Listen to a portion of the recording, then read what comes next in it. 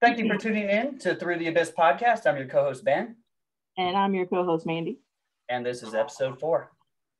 All right. I, I, I got to fangirl out a little bit here because I'm really, really excited for this episode because I'm a huge Halloween fan and it's totally awesome that we get to talk to Kristina Klebe, who took on the role of Linda in Rob Zombie's Halloween.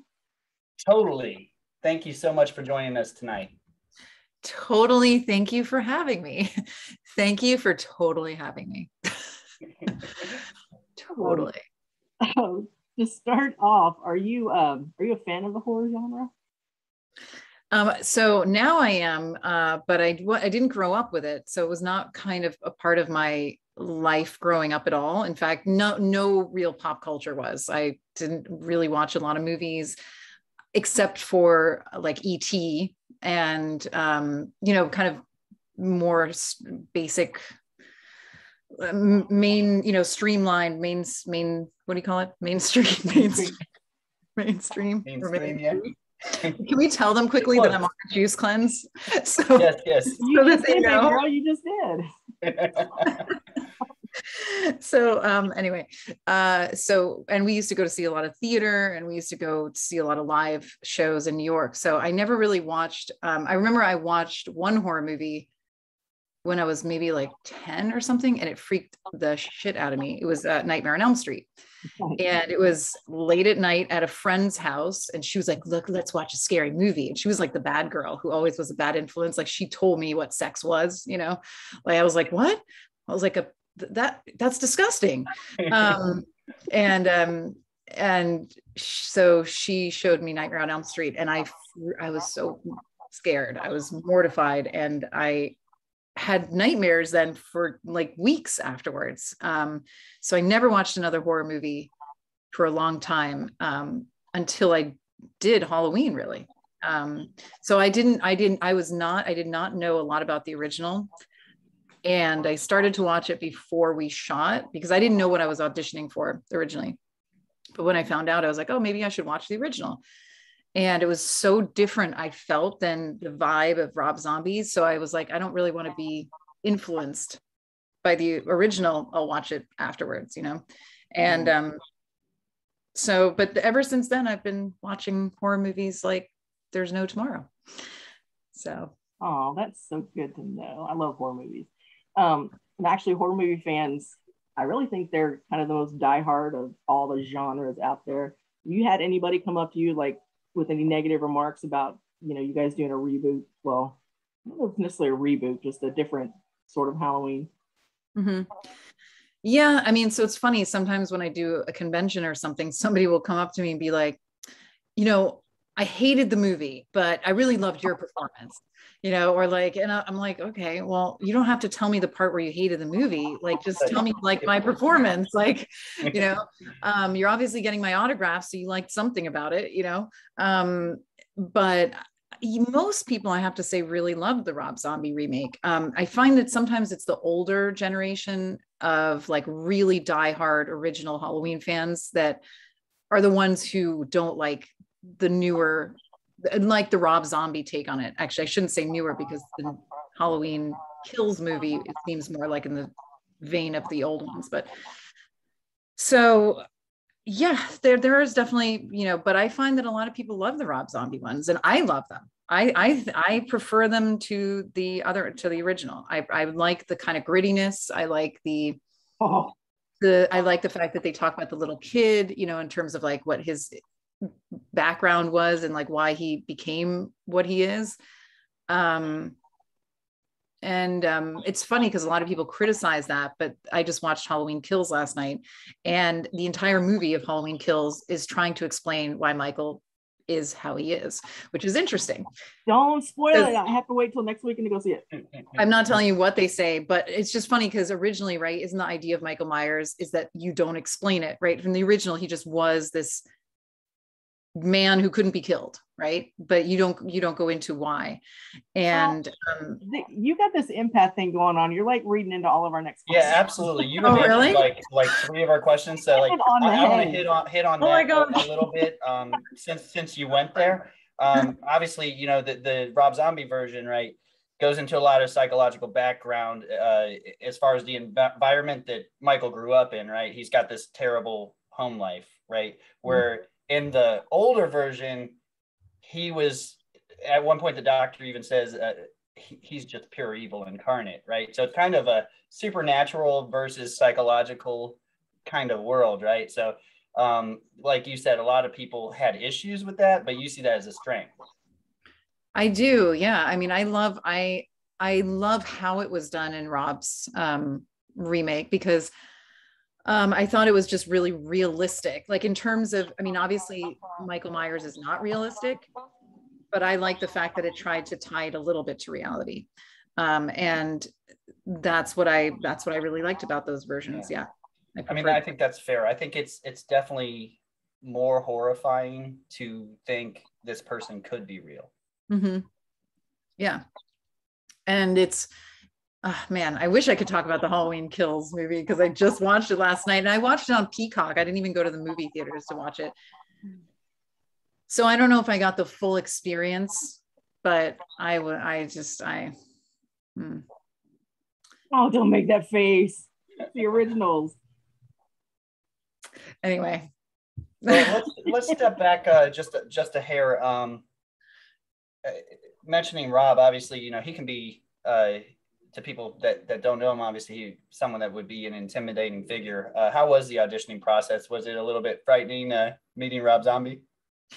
So, believe it or not, the auditioning process was um, all on tape with the casting director, right? I went into the office of the casting director. It was called the Untitled Rob Zombie Project. So, we didn't know what it was. We had no idea what movie it was.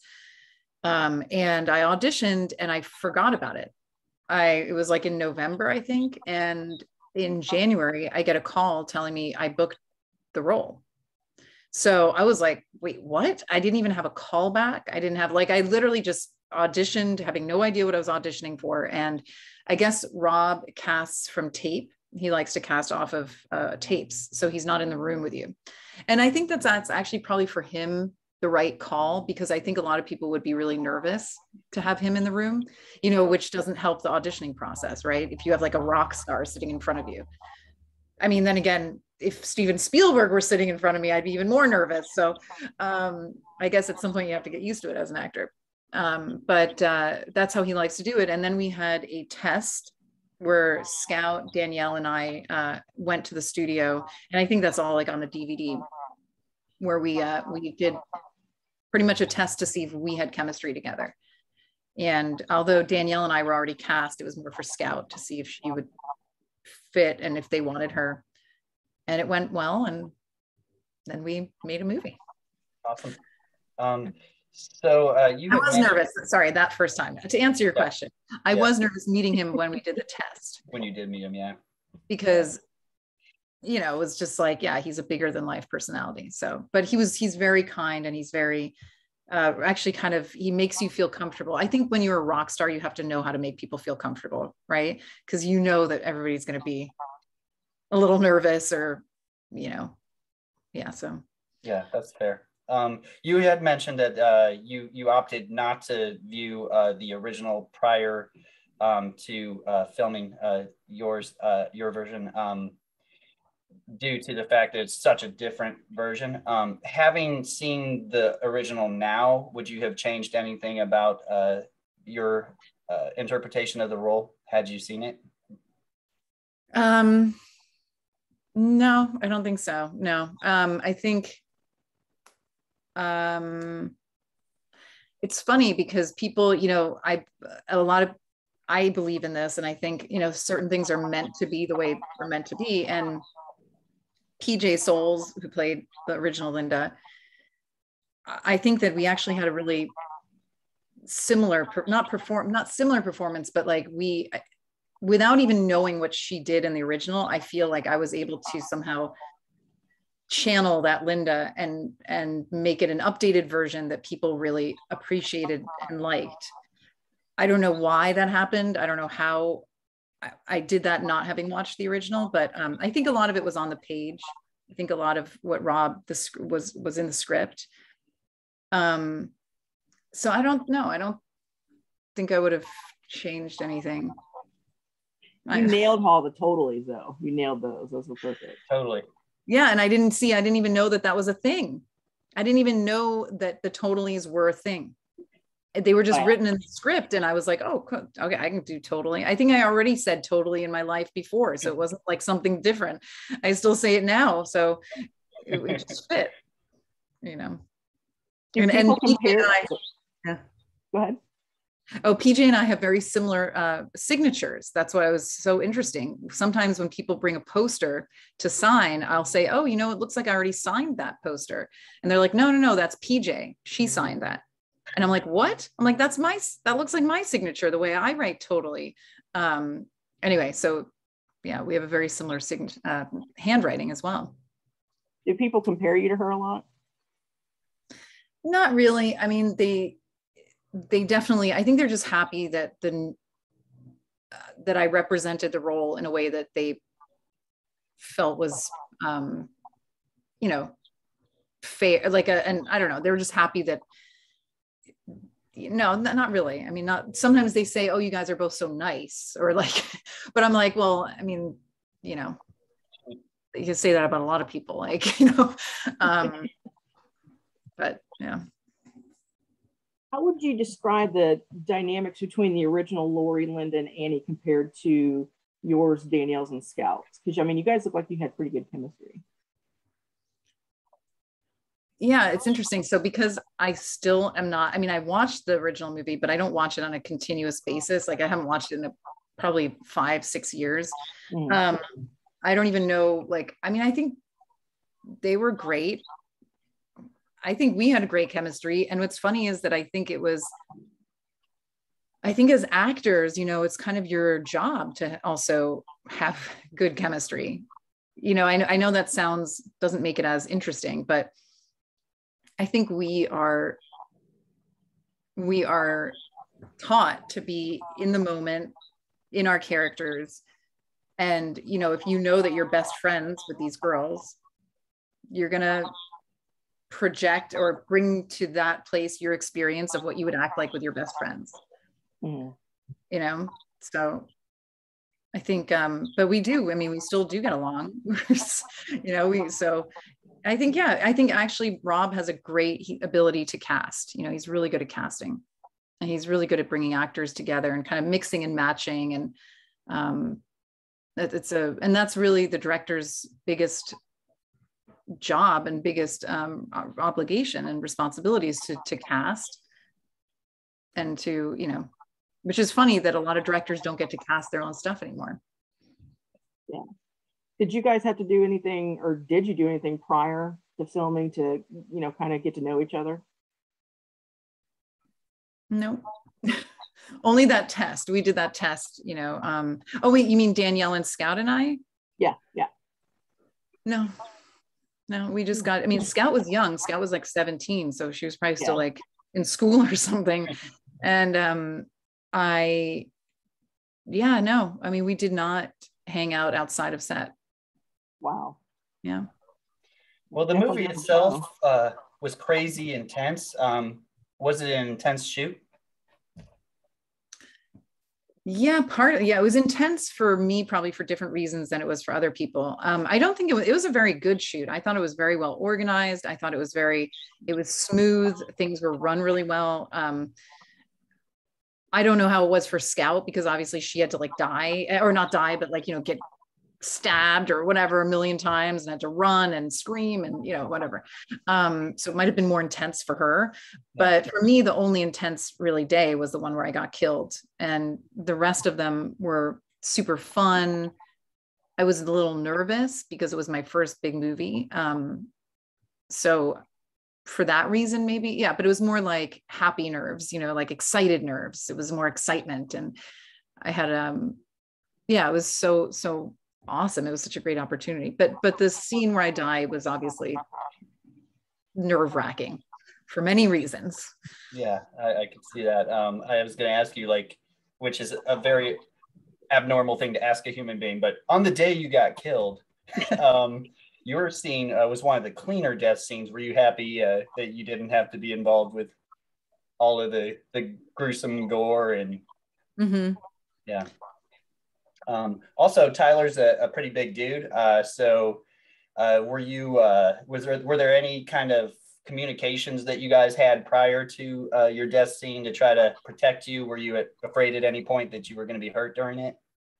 So yeah, I mean that was definitely up. Like there were stunt coordinators there. Um, but what you do is when somebody strangles you in film, um, what you do is you put your hands like this. So their hands are like here, but I've got my hands over his hands. So whenever, so I'm in control of the of the strangle. It's like a movie trick, and it it still looks super real because you would be grabbing yeah. their hands, right? But you just have them a little bit more down. And now, if something hurts, like I will be the one who can go like that, you know. Um, so he can't really hurt me or hurt my neck or. Um, so obviously that was what we did it was nerve wracking to be naked in front of him. You know, it was weird. You know, uh, then he had to carry me naked. That was even weirder. Um, I think they even like anyway, but it was uh, so you know it was, but but it was he was very you know kind and I know it's he hates when you say this, but he was very gentle.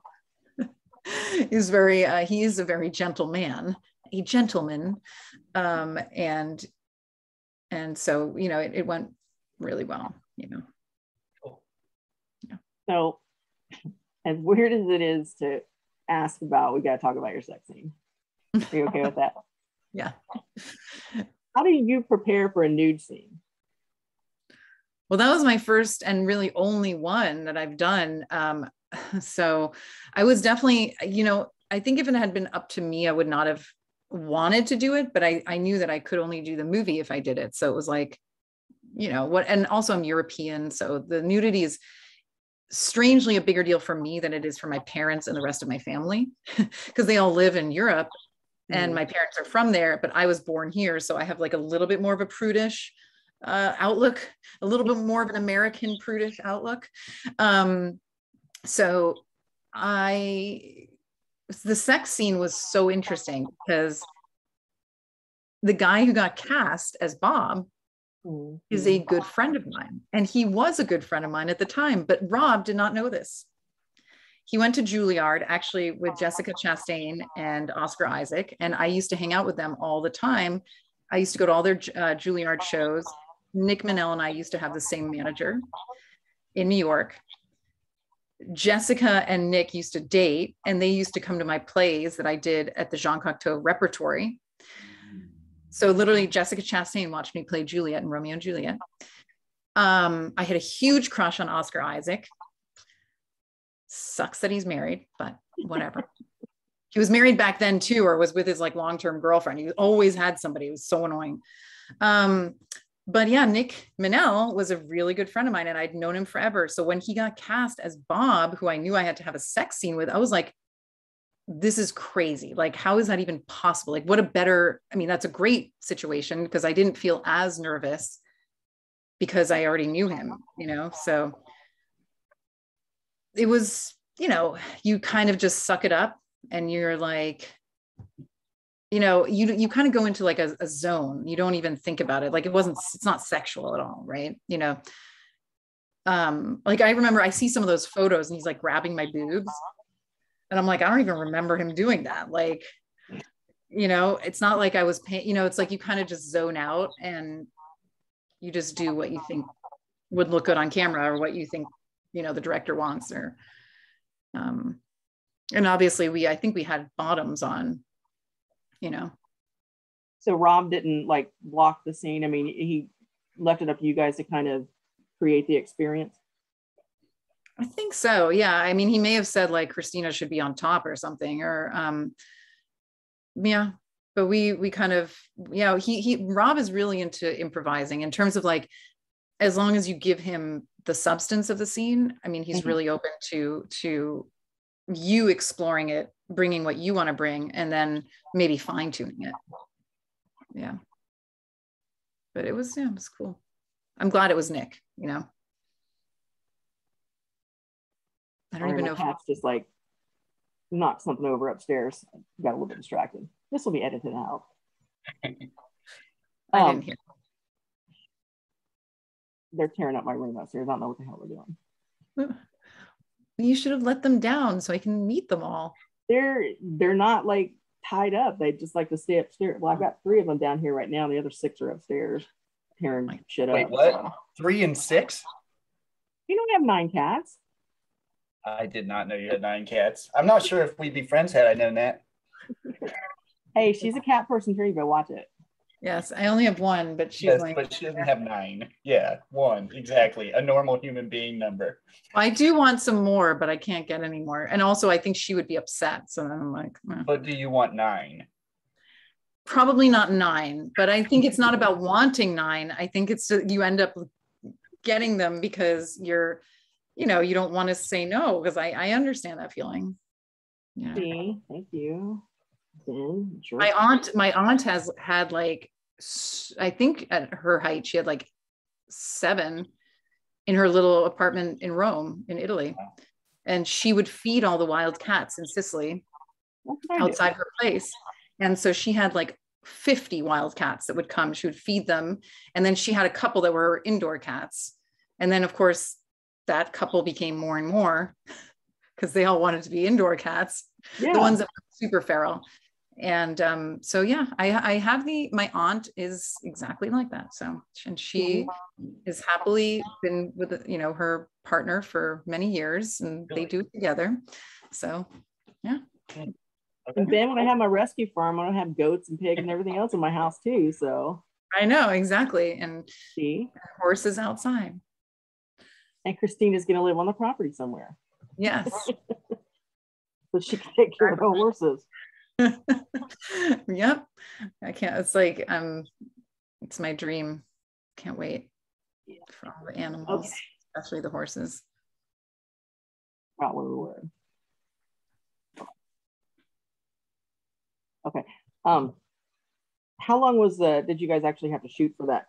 The sex scene as well as the death scene. I mean, were they like consecutive, or did they do them together? Or were they Um, I think it was one day actually. I think it was what consecutive. Yeah, I think we shot all of that stuff. Un- unless we, sh- yeah, I don't know. I don't know anymore. I don't know if we shot the sex scene separately than the death scene, because it, obviously Nick would not have had to be there for the death scene. Mm. I think we all sh- we shot it in one or two days for sure. Yeah, it was pretty qua- pretty fast. The whole shoot was pretty fast. What? Did it take a toll on you, like in any way, to have to be naked around a bunch of people for an extended amount of time? Yeah, no, that was definitely. um Yeah, that was uh, at the end of that day. I definitely, uh when I was driving home, I I cried. Yeah, Oh, um, but it was more of like it was weird. It was partly tears of like tr- traumatic feeling, but it also was a partly um, like relief and a release almost. Yeah, it felt. Oops, something just slammed. Um, yeah, felt felt good actually to get it over with and um, to release all those those feelings and yeah but i definitely did it was intense and uh and i i but i processed it you know so i didn't it's kind of a weird question, but um, Ben wanted me to ask. So, when you do interviews, Mm.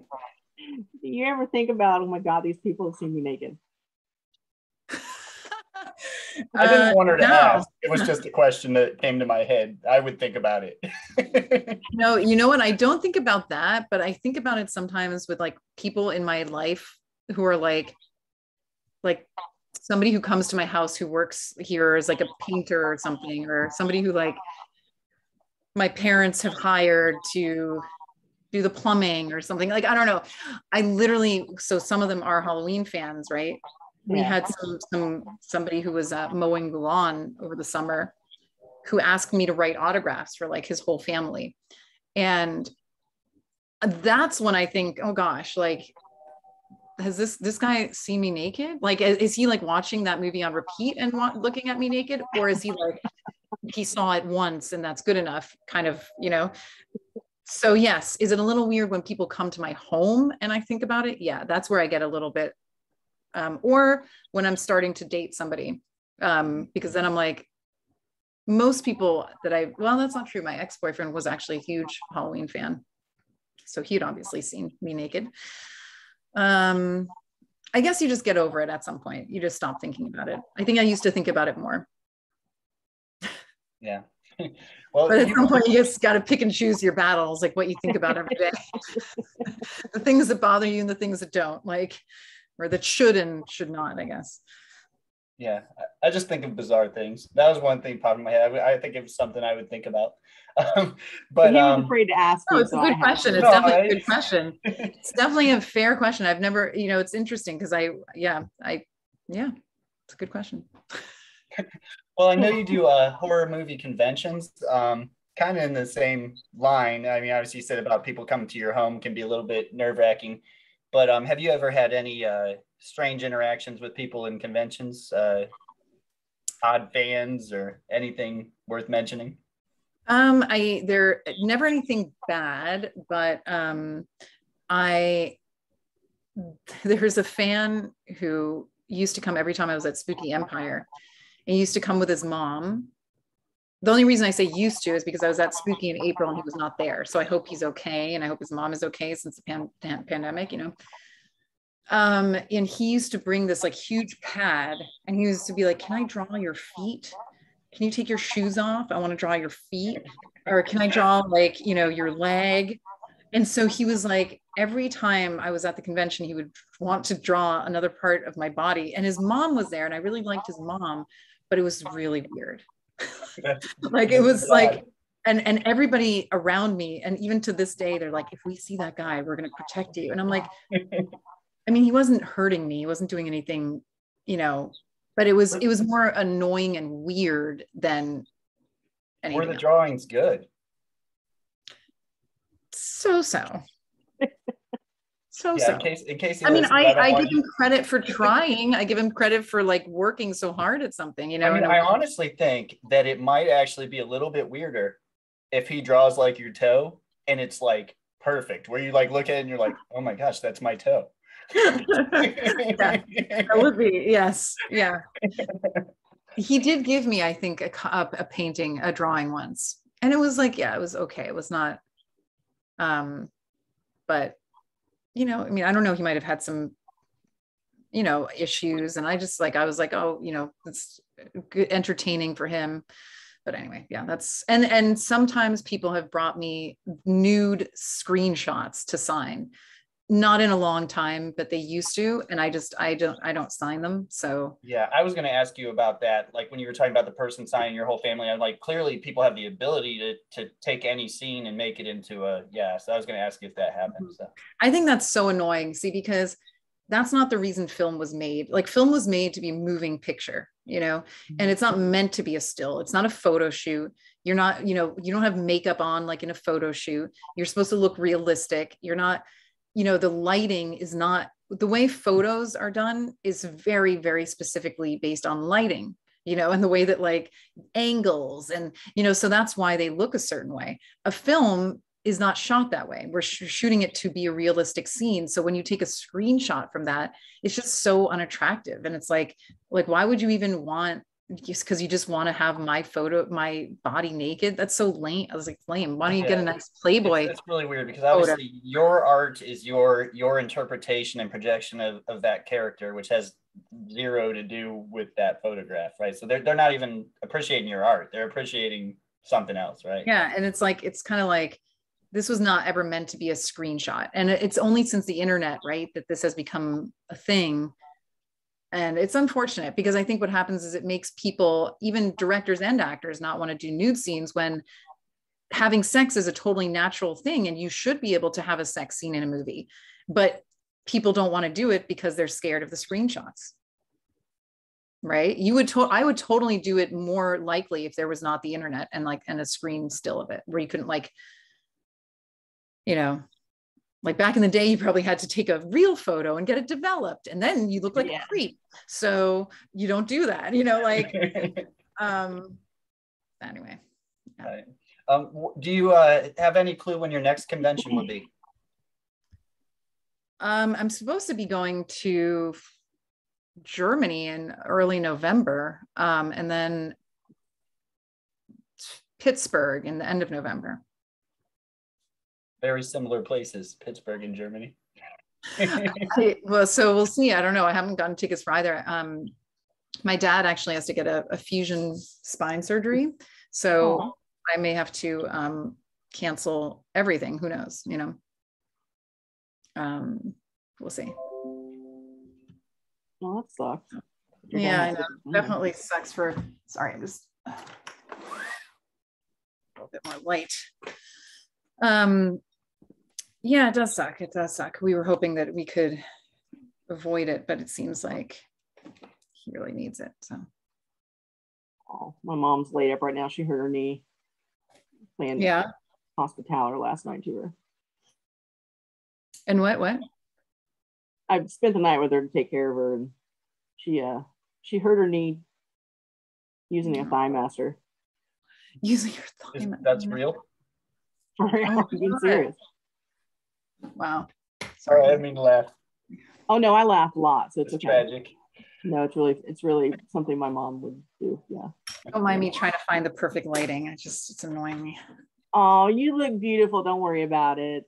I know I want to, you know. Um. So yeah, that sucks. So is she gonna have to have an operation? Nah, No. I think she just sprained it a little bit. She'd be all right. Okay. That's good. She just can't work or walk on crutches very well, so it's kind of funny too. Not that I'm laughing at her. Well, it'll be yeah. So somebody told me that a friend of mine who's a healer, he was like, you can you can heal spine stenosis by mental your mental beliefs and um, you don't have to have a surgery or he doesn't have to have a surgery. And I was like, okay, I you know, I believe all in healing and everything, but I'm like, I saw the MRIs and the x-rays. Yeah, not sure how much you're, I mean, you know, you could probably tell yourself not to have pain, but you're not going to like grow back the nerve fast. I mean, maybe you could grow back the nerve a little bit faster if you're really meditating on it, but I mean, I think he needs to get the operation, you know. Have you done Reiki on him? He does not want me. He's like not in into that stuff. See, that's the other thing. He doesn't. I've done Reiki on my mom. Um, I could try it, but I, I mean, I think it won't really. I think Reiki is incredible for pain management, you know, Mhm. because it and for for energy flow to like help, um, like on a long term basis to help heal your system. So if you're so that all your chakras are aligned all the time, if you were to practice it daily, which I don't even do, Yeah, I'm a me bad- I'm a bad person. but um person. but uh no lazy. so I I'm lazy. Is that that is true. I am lazy. no, I'm lazy. You're busy. No, I'm lazy too, though. It's funny. I just I'm just lucky I'm busy, so I have something to that forces me to do something. Um, no, I'm not like lazy in a bad way, but I like to. I'm I'm like chill, you know, in general. Like I like to not be stressed out, and sometimes. Um, but anyway, yeah. So he's not as into that. But I but I I think Reiki does. Yeah, it can help for sure on a on a pain management level. Yeah. Hey Ben, I have a question for you. Yeah, what's up? Since she got on, do you feel happier? Just I don't know if getting happy is the right word, but I do feel like she is a positive energy. She's very easy to talk to. Um, I think uh, she's yeah, you can feel a, a goodness there for sure. Yeah, she like doses you. You dose people, dude. Like I'm gonna be hyper for the next two days. I, I thought she was wearing a crystal also, Yeah. but now I'm like, is, is it like a little brush? Am I seeing Oh weird? my god, that's funny. It looks like a little like Like a paintbrush. it's hold on, let me put my makeup on quickly. Just, uh, that's actually a good idea, you know, just have a little like blush blush necklace and you're just like or a little lipstick. When I first glanced, it looked it looked like a clear crystal, and now it's like black. No, it's always been black. It's always been black. But here maybe you maybe you A notice shine. There's a shine. yeah. It's a tourmaline. I I wear this and then I cleanse it at night. What's the Put it on the significance of it? What, what does it do? It absorbs, you know this, Mandy. Then you, Right. it's what we always make people carry when we go on investigations. What did she say? I was? put one in your pocket every time we Tourmaline. go on an investigation. I don't. You know Black what, man? When when you do that stuff to me, I don't pay any attention. I'm sure you've stuck things in my Just do it. pocket. I'm just like, okay, we're clean. That we're cu- like, I'm saying, wait, I, I- I've I've been there for the saging, and in my mind, I'm like, not sure what these people are doing. Yeah. It's like um and then I, I yeah, so tourmaline is good for um absorbing negative energy. So it's like a protector, right? So like anything that's around like will go here before it affects me. Yeah.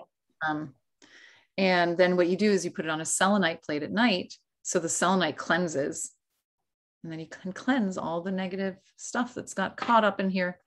Sometimes I do think I'm like, you know, is it just a symbol that's representative or is it the actual stone the crystal? You know because I, I always am skeptical of everything but then i also believe in everything.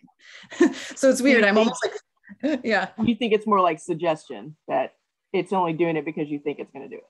well i either way it works right? So Yeah. whether or not it's the stone that's actually pulling in you know or absorbing all that stuff or whether you just believe it so therefore by believing it you're sending everything there either way it works right Yeah, yeah. i mean it's, you know it's funny because I, I often think about that like you know we use things that are symbolic crystals are sim i mean they're earth based so of course they have energy right because they're Hmm. from the earth um but ultimately like they're also symbolic and once you know a lot about them you reach out for a physical object for like like let's say like i have my pie right here. Like now let's say i'm like i really i'm thinking about money and i need to make some money or i'm worried about money or i want to manifest money. I've got it right here. So now i i grab it or i look at it and i'm like oh this is going to help me or it's going to be Yeah. like so in a way it's almost like a physical manifestation of what i'm what i'm wanting but i, I can hold it I, I don't know i mean i think the stones the crystals do work physically because of what they are Mhm. but I also think they work on that other level. All about Yeah. intentions. Yeah, exactly. So, but I love holding. I love how every crystal has a different feeling to it. Like this one is so like like intent like hard. It's like Yeah. you know feels like strong, you know. Whereas like tourmaline is very soft almost, and um, trying to think what else like kyanite. I love kyanite. Kyanite was the first crystal I Ooh, ever bought. blue kyanite. Nice. I love blue kyanite. So this was the first crystal I ever bought for myself in Salem, Massachusetts. It's not Oh, this one, but it was a kyanite. Um, and it's downstairs. But I love this, and it's like it's so, but it's very. I don't know. This reminds me of like outer space. Like it reminds me of like Superman. You know, like yeah, for sure. it's it's just Kryptonite like Yeah. kryptonite. I mean, maybe because it's kryptonite kyanite, but like it just feels like it's so. Just, I don't know. What do you use yours for? My kyanite? Yeah. So I haven't quite figured out what I use it for. I just know I love it, but I know you don't have to cleanse it. Right. So it, um, which is great. Most of the other crystals you have to cleanse, but you don't have to cleanse this. Um, and I used to put it next to my bed for dreams, for like lucid dreaming, um, Oh. or to call, call in. But then I found out that's not really what you're supposed to use it for. But then I was like, I don't really know what you're. It's good for creativity, I think. Phantom quartz is good to have, and I don't have it down here, but it's The only good. problem is it falls off on my hands. It like comes off on my. Can't it. well, it's real flaky. That's one of the reasons why you don't Yeah. cleanse it. Yeah. But I love I just love the way it looks, and I I love. All I um, have is this thing, which is kind of like from Indiana Jones. Oh, that's Oh, uh, yeah. um a, sh- a Shankara stone. Yes. I have a bunch of those. I love them. That's cool. I Why did not. you get that, Ben? I didn't think you were into stuff. You just like, um, I'm a huge uh, Temple of Doom fan. Saw it. I was like, I want it.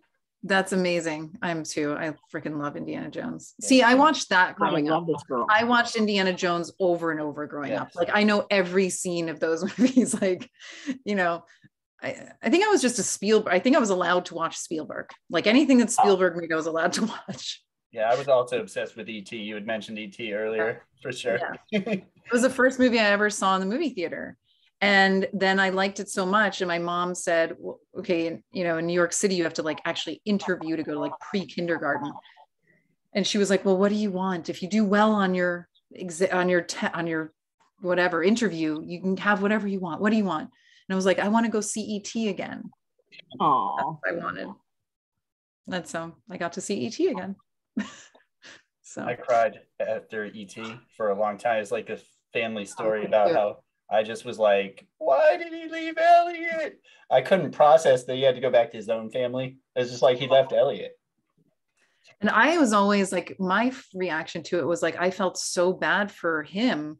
I was so much more associated with E with with ET than the other family, which is so interesting. uh, Which makes me think the more I know about myself that I definitely came from an, like another planet, like you know, because I don't think I was. I- I think I just the fact that I watched that at such a young age and only felt for him I was so scared for him.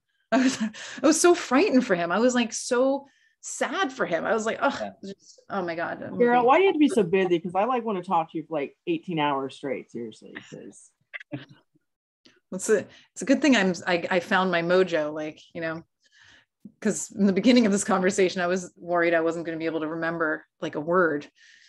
That avocado kicked in.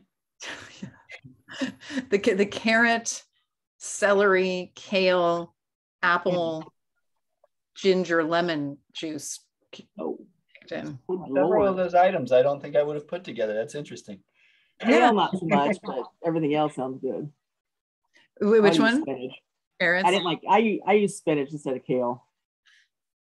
yeah i don't really i'm just put, honestly putting whatever i can in there at this point i was like So that's not a recipe. That's just what happened to go in today. So what i do is i buy uh, so i've only done this specific juice cleanse this is the first time i've never juiced them myself i usually buy juices and um, drink them according to what they tell me to do this is the first time i've actually done it on my own so i just bought what i thought so apples are a good base Yeah. because they create a lot of juice Yeah. right so so like the kale barely creates any juice Yeah. so you actually have to like use a lot of apple i use some pineapple sometimes um beets like stuff that's juicy celery I use green tea as a base. For a What do you- Green tea.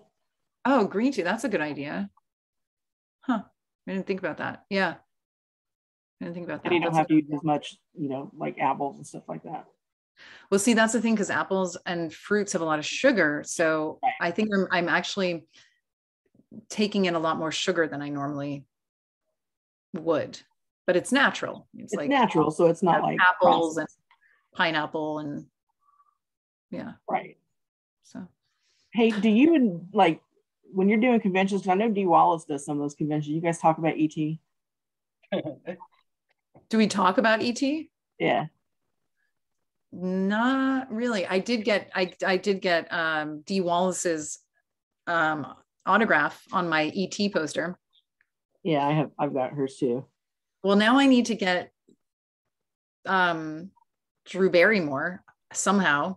I had a dream about her the other night also, which is so weird.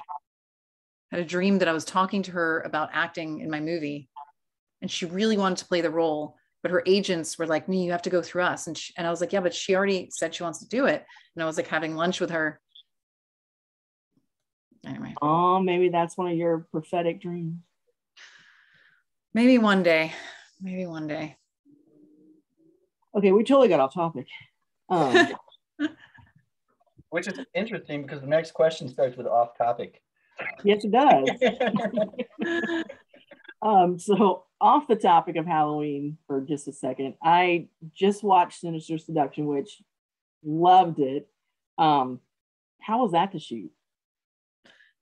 So that was actually really fun. I mean, we were in Miami, like we went, we were shooting in the nicest locations. It was warm. They put us up in a hotel by the beach. It was great. Like that was, and Tanner was wonderful. But I'm just going to put it this way when I got that script, it said, oh, you know, like young mom and the the kid was obviously 18 or 19 and had been left behind and was still in high school, right? So he and it says in the description he looked much older than a high schooler, right?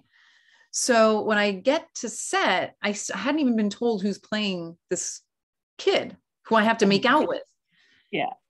And it's freaking this guy, Tanner Buchanan, who at the time was not well known in he had been shooting Cobra Kai, but it was on YouTube. Um, and he's looked to me like a 15 year old. Like I was like, this guy looks like he's 15. Like, how am I going to make out with this guy? It was the weirdest thing. I, I mean, I literally was like, this is so awkward. And I, you know, we made it happen and we we became really close on set. You know, it was a really it was a wonderful shoot. I wish that now he would return my texts he told me I was his eighth favorite person in his life. Oh and you're out there. I guess now I'm like down to what, a hundred? That fast, huh? They get famous, they forget all about you. Oh, but he was very sweet and how and how he and how he you know helped me through that. And so, but it was, I mean, the locations were great. He was great we, you know, it was fun. It was a fun role. It was my first mom really role. Was it so, fun to make out with him? Because he's such a cutie. Yeah, it was. I mean, yeah, I guess like it was. We actually both did a shot before we did that. We were not supposed to. You're not supposed to do that, but um, we were both so nervous. Oh, because for me, he was like way too young, and I was too old for him. You know, so it was like and I felt like I had to be the mature kind of adult, you know, who was like very respectful. And I like, you know, was like, just, you know, you know, I don't want to do anything wrong. I mean, he was 20. It's not like he was like 15, really, you know, he was 20 right. as an adult. Um, but I just felt like I didn't, you know, you never really use tongue when you're kissing on camera. Um, you just kiss as if it's passionate, but without tongue. But it's funny because when I first when we were talking about it, he's like, well, so like you're not going to use like tongue, right? And I go, no. I'm like, you know, that's not. And he goes, well, because my first on camera kiss, like the girl stuck her tongue in my mouth, and it was like so, I was freaked out, and I was like, well, don't worry, I've been doing this long enough. I know not to stick my tongue in somebody's mouth. Like it's a beginner, it's a beginner mistake, you know. Um, but did not know that.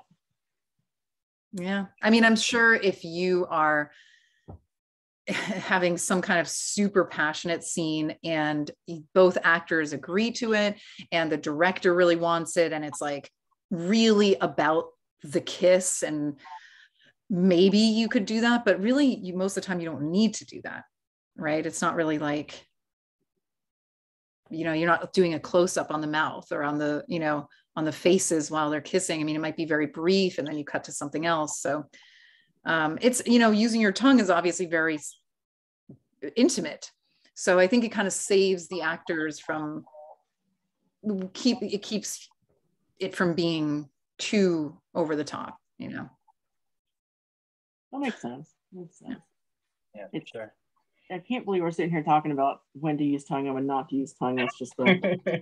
Here's a piece of advice, though: use tongue in real life. In real life, in real life, use your tongue. Moderately, don't clean somebody's teeth though. That's disgusting.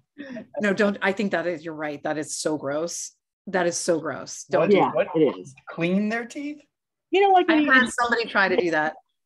You know, it's. Mm-mm. Ben, I've got a story to tell you after we're off air. Okay, fair enough. All right. Yeah. It, we we had talked about earlier how this wasn't one of our initial questions, but since this is a podcast that deals a lot with uh, also paranormal stuff, yeah. let's let's hit us if you have time. If yeah. you don't, let me know. Hit okay. us with the Indian burial ground spirit story. Okay. Well, it's a, it's a very very fitting that I'm doing this interview from this bedroom where it happened.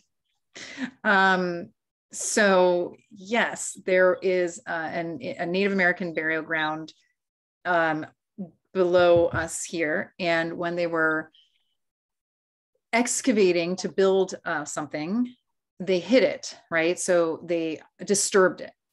And although I, I do believe they they kept an area for it to honor it, they still disturbed it at some point, right? And who knows if it's really the original burial ground or if they, you know, made an one acre lot into a 10 foot lot. I don't know. I've never, I haven't seen it. So one night I did have a dream and I feel this place is very clear from it gets very positive energy up here. And um, but one night I was sleeping in this bed and I remember like waking up and I was like in this in between place between sleep and being awake where you are aware and conscious, but you're not, but you're still in the dream world. So it's like, I don't know what that's called, but it's like this in between world. Mm-hmm. And I just, my, my eyes were still closed and I had this dream about this beautiful Native American girl. Like she was maybe like, I don't know, either a, a young adult or early 20s, beautiful, gorgeous. And she was like, you know, we were, she came to me and I wanted to like reach out to her or something. And then I was, and then she turned into this demon witch or something, you know? And I remember thinking it was so scary. And I remember knowing in my weird state that I could not look her in the eyes, that I, I had to get rid of her but I couldn't look her in the eyes. And so I had to use like all my force. And this was in this dream. Like, and I, I was using my physical, my energy to push her away. And by not looking her in the eyes is also how I beat her. Because I guess she wanted me to look her in the eyes. And I knew I can't do that or I shouldn't do that because that's how she would get to me. Mm-hmm so but it was so weird because i felt my whole everything about me was pushing this really dark negative energy away and i actually ended up caging it putting it in a cage like a physical like cage. And then i remember it like somebody pulled it away. And i remember as it was being pulled away she said oh well don't worry i can get out of this cage. I can get out of this cage. And I was like, well, and I knew, I knew I still couldn't look at her, still couldn't look her in the eyes. Like I, so, but I was like, well, you're not, you know, you're not coming back here. And I, it was really interesting because I've never had a dream like that where it was so, I was really fighting something in this weird in between state. Like I, I, I definitely feel that had I l- let it in, it would have been a different story, you know, or and you know maybe it was just passing through maybe the energy maybe the spirit was just passing through and maybe she was just i don't think it was a demon. I think it was she seemed more like a witch like um but like a angry mean scary dangerous witch. So mm-hmm. not like a good witch you know? Um again yeah it didn't and she wanted to hurt you know she wanted to be destructive but I, I i don't know i fought i fought it away and i i was i knew i had to finish that before i could even open my eyes. Like i i, I had to deal with it and then i i could wake up. Wow. It was intense. It was scary and it was intense but it also was satisfying because i was able to keep it at bay. Or, See, or if you can do that, you can totally come ghost hunting with us. yeah, I mean, I, I, I guess maybe uh, you know, as long as there aren't any much more, you know, darker spirits that want to come my way. It's, oh, it's interesting that a, a lot of people would just would write that off and say you were just dreaming, right? But how is it possible that something that you weren't thinking about before you laid down, something that you would never think about ever, right? Your subconscious mind is going to play this back to you when you're sleep. It doesn't even make sense, right? It can't be. Yeah. Well, also, it was weird. Like, I wasn't really sleeping. It's hard to explain yeah. because you know how you have dreams. Like, I know the difference in my dreams. I dream so much ever since I was a kid. Like, I've dreamt prophetic stuff that's happened Um, I dream, of course, regular dreams that work through my subconscious. And, uh, you know, I've had the I've had lots of different kinds of dreams, and I know which ones are which. Um, and this was something I'd never. I was awake, kind of. I was. I, I mean, I I was there in my body. I could feel my body, and I could feel, you know, but I knew I couldn't open my eyes yet. I wasn't so it was i don't know how to describe i mean I, people Yeah, are just I don't you know what it's called either, but I've definitely been in that Sleep stage. paralysis, I think is what you might be talking about, Ben.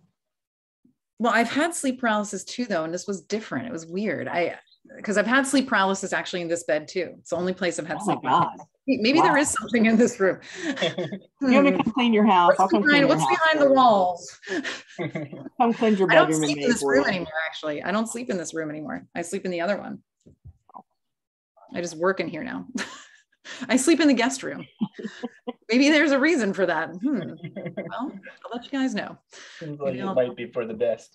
All right. Do you do you have any uh, future projects in the works?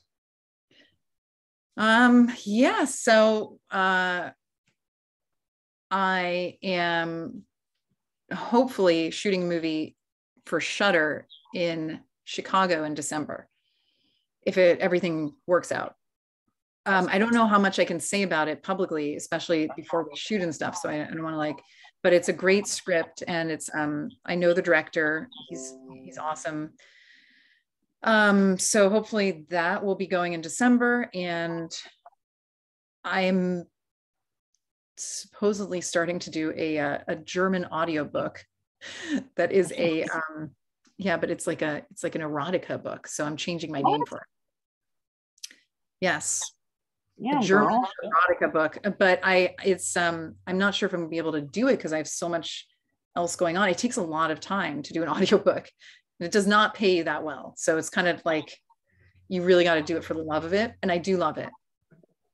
But um, and I'm not going to tell you guys my I have a fake name, but I'm not going to tell you what it is. Copy on secret fake name. You're gonna have to figure it out on your own. If you if you ever want to listen to a German erotica book. I'm assuming it's in German then, right? yeah, yeah. So that's yeah, the- probably not gonna happen. part.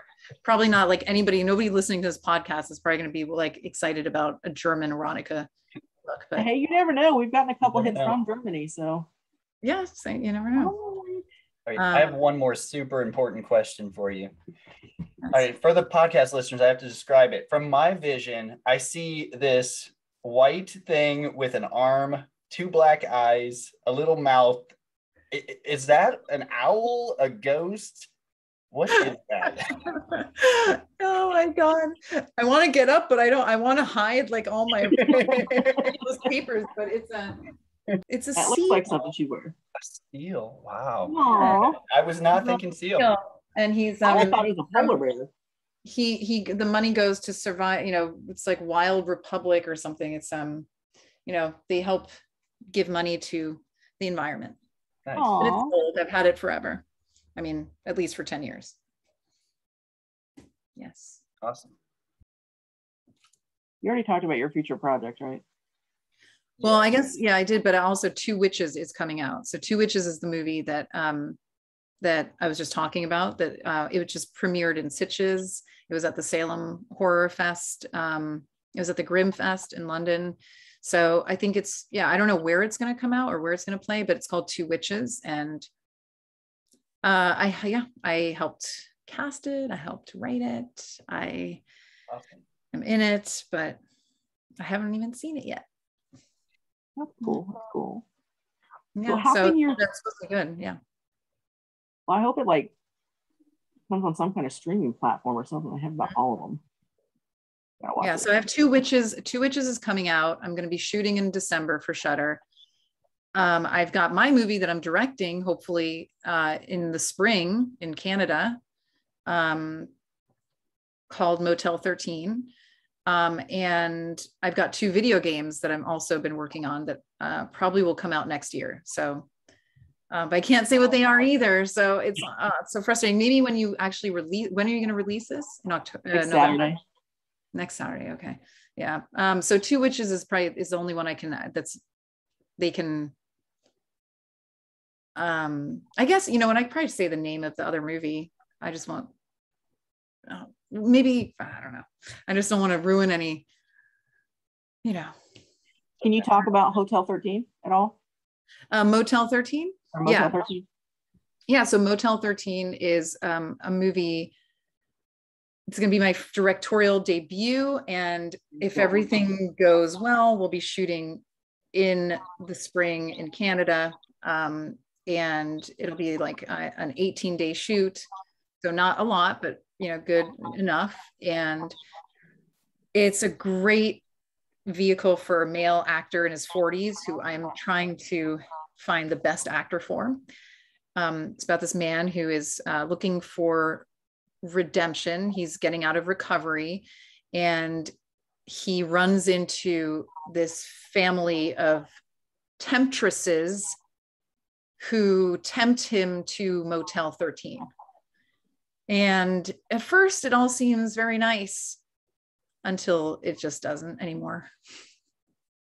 until he realizes he's actually a captive and um, is forced to do things he does not want to do. I'll leave it at that. Nice. God, it Not kind of an sounds like actor. hostage. Not an actor, but man, male in his 40s, right here. Just throwing that out there. And he's Um, cute and he has rock solid abs if he needs to be shirtless. I, I you used see a movie called Hostage? Hostage? Hostage? Yeah. I haven't seen that. Have I? Oh, don't watch it. It's horrible. It's gross. Okay. It's like people go overseas and pay to torture people. Oh, Hostel. Hostel or that what it is? Hostel? Hostel? Oh, you're talking about yeah, Hostage. Hostage, There is sorry. there is a movie called Hostage too, but I'm not sure what it is. Hostel's one I was thinking. no, of. it's not going to be like Hostel at all. It's not that. It's not a. That's an Eli Roth movie, right? Yeah, yeah. I'm very. I have very, very different sensibility than Eli Roth. Not to say he's not a great director, but it's very different. So no, it will not be like. It'll be more like. Uh, Get Out meets Midsommar meets. Uh, leaving Las Vegas or, or Fear and Loathing in Las Vegas, not leaving Las Vegas, Fear and Loathing.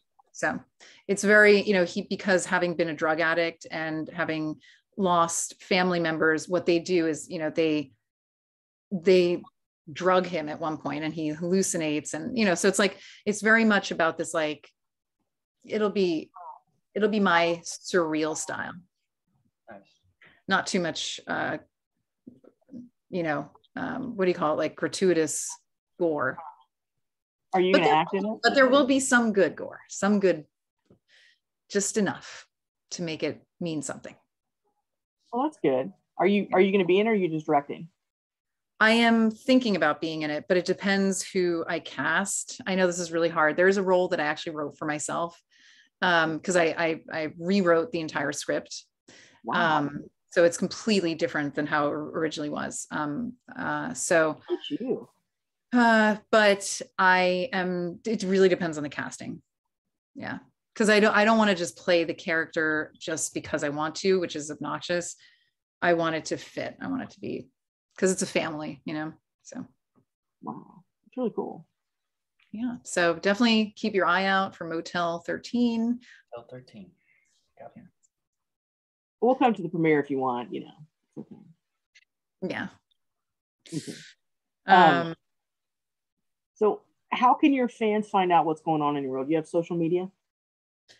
yes, they can find me at Kristina Klebe on Instagram and at Kristina Klebe on Facebook and on Twitter.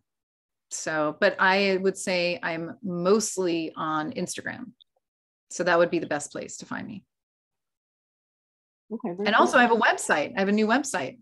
It's www.kristinaklebe.com. Nice. Kristina with a K, in case Yes. those don't know. Yes. One of my cats came to say hi. Oh no, he just went away. Ben scared him. Um, well, you'll have to uh, show me them later when we FaceTime some other time. Oh. Well, you guys are amazing and cool. It's so nice to meet you, Ben and Mandy. you you're amazing. You're. Uh, I feel like our connection goes so deep into like another realm. Um, and uh, yeah, you guys are awesome, and I can't wait to listen to the podcast when it comes Yes, out. Thank, thank you so, so much uh, for uh, giving us this amount of time and, and uh, Yeah, uh, just wonderful responses to everything. I think people will be very interested. You've been a true gemstone. I just want to put that out there. Totally. totally.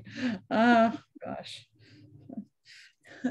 totally rocking the gemstones. totally rocking the crystals. Okay. Thank you so much. I'd keep you on all day, but you're busy. So I do have to get ready for this thing, but um this was so much fun and thank you for having me. thank you for coming Hopefully, on. I want to I want to come ghost hunting with you. I want to come at some point. If it's not in May, it'll have to be whenever I finish shooting the, the movie or whatever. Okay. All right, thank you again. Thank Have you a great guys so much. Mwah. Bye.